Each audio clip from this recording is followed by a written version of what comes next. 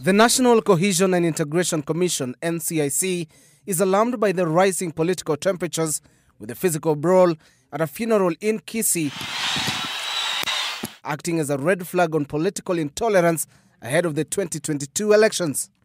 Members of Parliament Silvanus Osoro and Simba Arati have subsequently been named in the NCIC list of shame. In the list of shame, we have the name of uh, Mr. Johanna Ng'eno and uh, Mr. Mike Sonko. And uh, these two names, we have put there, them there because of their utterances and uh, their behavior.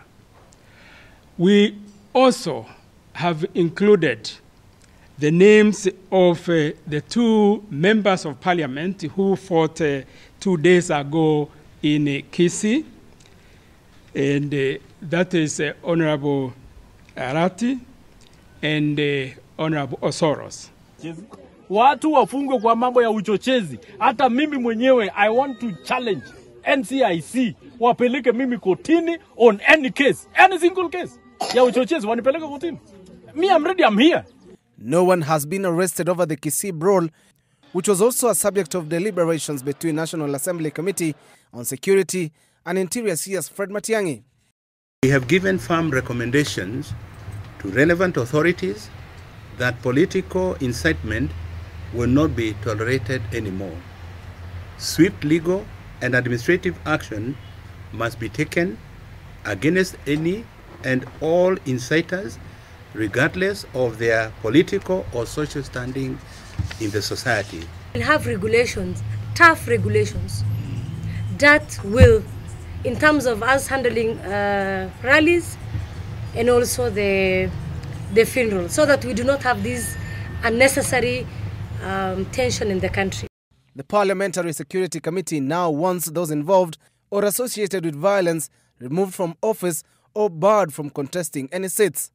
We are giving the leadership of Marsabit County 30 days to stop the tribal wars, which we have credible information that they are fueling in their region.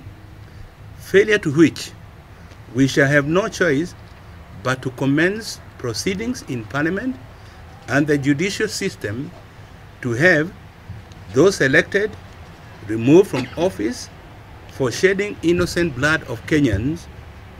We also shall commence removal proceedings in the National Assembly of any appointed state or public officer, irrespective of the position they hold. The